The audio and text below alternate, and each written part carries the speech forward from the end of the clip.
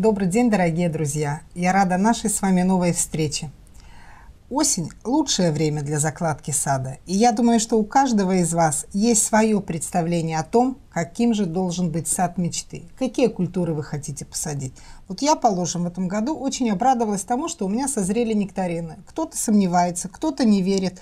А вообще, могут ли у нас вот эти южные косточковые культуры расти и хорошо плодоносить? Я имею в виду персик, абрикос, нектарин.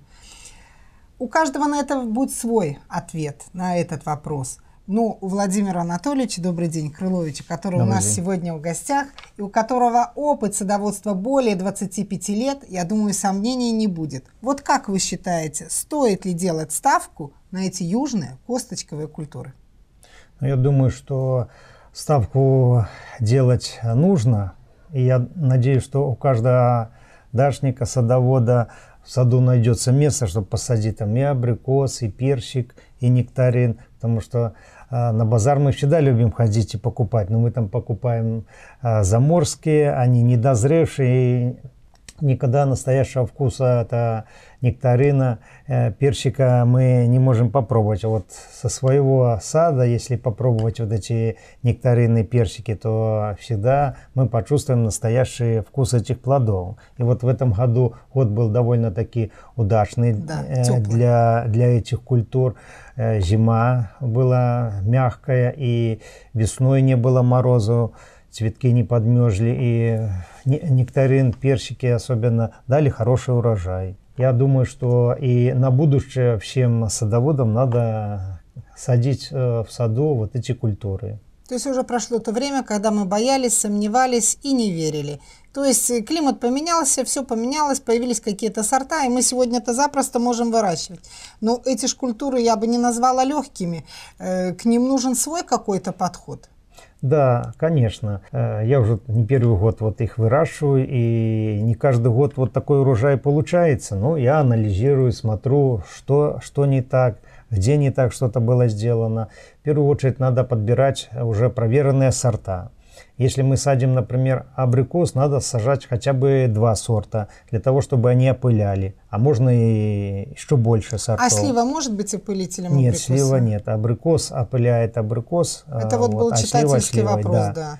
Вот, и желательно сажать побольше. Если у вас там уже места нету, тогда э, посадили несколько абрикосов, а в крону еще привить э, через год, через два – другие сорта, они тогда будут хорошо опыляться. А вот как вы считаете, персик, абрикос и нектарин по капризности, как бы вы выставили эти культуры? Ну, они как бы все, все немножко реагируют на зимние морозные перепады. перепады. Вот. Но с другой стороны, вот э, персики, нектарин, они быстрее восстанавливаются. Быстрее восстанавливаются, поэтому Э, мы всегда больше результат э, видим на персике и на нектарине. Почему? Потому что э, персики нектарин плоды закладывает на однолетних ветках. Вот у нас в этом году, к примеру, подмерзли деревья, мы их обрезали обильно, вот, наросла однолетняя ну, древесина, и на этой однолетней древесине у нас уже закладываются плодовые все, почки. И все начинается сначала. Да, и в следующем году он опять начинает плодоносить. А абрикос, он уже закладывает э, цветки, плодовые почки на двухлетней, на трехлетней древесине, поэтому уже вот разбежка, Период ожидания, да, да. Да, разбежка уже получается на год-два. И все спрашивают, вот вроде бы хорошее дерево, а оно не плодоносит, потому что ему надо уже опять набрать силу после подмерзания. Тогда, может быть, зимой, как я шучу, им нужны валенки и шапка? Вот как укрывать эти культуры на зиму или вообще не укрывать? Ну, видите, для того, чтобы укрывать для чего? Для того, чтобы, ну, чтобы сохранить. сохранить. Да. Но мы всегда забываем о главном, что у нас есть для этого лето.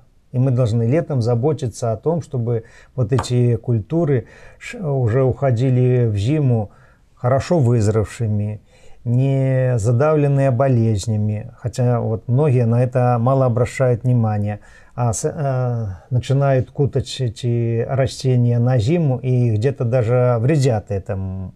Понимаете? Поэтому ну, надо находить золотую серединку.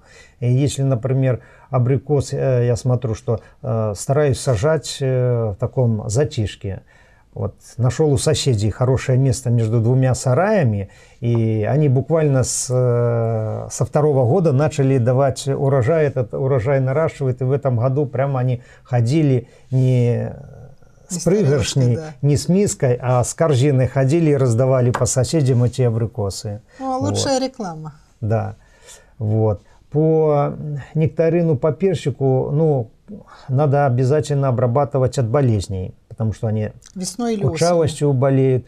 Надо и весной до распускания почек азофосом обрабатывать, и обрабатывать э, летом фунгицидами, там, скор, хорус – и тогда они не будут э, болеть. То есть как профилактика. И, да, и будут тогда а, такие окрепшие в зиму ходить и хорошо ее переносить. Э, я проводил эксперимент и абрикос формировал такой стелющейся форме. Угу. То есть э, не абрикос, а персик. Персик, вот персик. я хотела сказать, да. Персик. персик. И персик как бы, он у меня рос кустом, вот, молодые ветки, их легко отгинать к земле. Я его как виноград. Вот все эти ветки отгинал до земли и укрывал еловыми лапками. Укрывал То есть, еловыми получается, лапками. Плодон... те побеги, которые уже плодоносили, вы вырезали? Ну, практически да. Жалко, конечно, когда видишь, так что вот эти дело. все вот побеги. у меня но... есть э, те же персики, но деревья. Есть, как я уже, так сказать, рискнула и срезала. Хотя я понимаю, что резать надо. Ну, здесь дилемма такая, что уже если вы растите деревом, тогда уже обрезай, э, не обрезай, все равно тут такой цели не достигнешь. А если вы уже кустом формируете, то э, надо стараться делать однолетнюю, двухлетнюю только древесину оставлять, потому что уже э, дальше они, ну, эти ветки скажем. жесткие, и их не отогнешь, да, они да. ломаются, и жалко потом вот хорошая ветка, там с этой ветки можно было ведро плодов снять, а она вот треснула. То уже... есть надо делать правильный выбор. Да, да. И вот раз мы уже заговорили про обрезку, то какой она должна быть у того же персика, абрикоса и нектарина? Ну, абрикос э, мы обрезаем так же, как и сливы. Угу. То есть укорачиваем э, побеги однолетние на одну треть, где-то прореживаем. У персика, нектарина, немножко, наверное, обрезка должна быть... Э, Виноградная. Да, да. То есть э, не только вот весной пришло время обрезки плодовых, мы обрезаем. Надо еще и летом где-то подойти к кусту. Э, они много побегов дают. Да, да, да, Эти да. побеги как бы не все вызревают, то есть лучше, а, лучше оставить там две трети этих веток, а остальные прорезать тоненькие и самые крепкие оставить, чтобы они больше набрали питания, лучше вызрели, и тогда они лучше перезимуют. Хорошо, а вот эту обрезку надо делать теперь, вот осенью укрывая наше растение на зиму, или уже весной из того, что выживет? Ну, э, есть понятие летней обрезки, вот то, о чем я говорил, да. что если вам надо прорядить, вы э, видите, что уже там нарос, вырос большой кус этого персика нектарина, и вы просто слабенькие, тоненькие веточки прорядите в конце июля, начале августа, и тогда э, остальные ветки получат больше питания. Все, а, все остальную обрезку делают э, весною, потому что если мы на зиму сделаем, эти раны остаются открытыми, эти а, раны начинают подсыхать, могут болезни попасть. попасть. Поэтому э, вся обрезка делается весной. Она сразу, все эти ранки заживают, дерево просыпается и дальше нормально развивается. Ну и, наверное, такой приятный вопрос. А как же распорядиться урожаем? Вот у вас он в этом году был очень большой. Ну, сказать, что большой уже ну, нет. Ну, не ну, по, край, по крайней мере, мы в этом году... Счет да, шел на ведра. Да, на е, да счет уже шел на ведра, и э, мы кушали там, делили с соседями. Даже вот получилось, что где-то ведро собрали уже зрелых, вот. Я их посушил, и получилось, что эти сушеные нектарины вот, очень удачные, сладкие, такие приятные, ароматные. Зима наступит с удовольствием. А абрикосы сушите? Абрикосы, да. Абрикосы это уже как... Э, То есть это уже как если, в порядке да, вещей? Да, в порядке вещей. Вот нектарин, Открытием персик, это уже нектарин. да потому что их даже надо знать, какие подобрать, чтобы они уже не перезревшие были, вот, как их нарезать даже, чтобы они быстро высыхали. С двух сторон вот я разделяю, например, на пополам этот нектарин, и что с, двух сторон срезы делаю, чтобы э, эти долечки были... Потоньше. Э, да, не то что потоньше, а чтобы с двух сторон они были срезанная кожура. А. Понимаете? Тогда оно быстрее влага уходит. Еще такой вопрос, я думаю, которым, ну, который задают себе многие.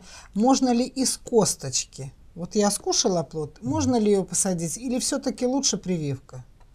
Ну, в принципе, в принципе, вы, если посадите с косточки, то получится тот же самый абрикос или персик.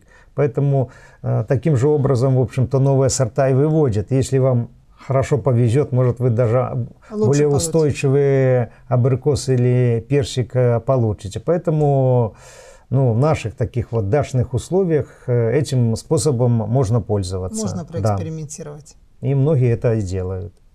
Спасибо большое. Спасибо. Вам удачи. Да. Как? Вам захотелось вырастить у себя нектарин? Удачи. Thank you.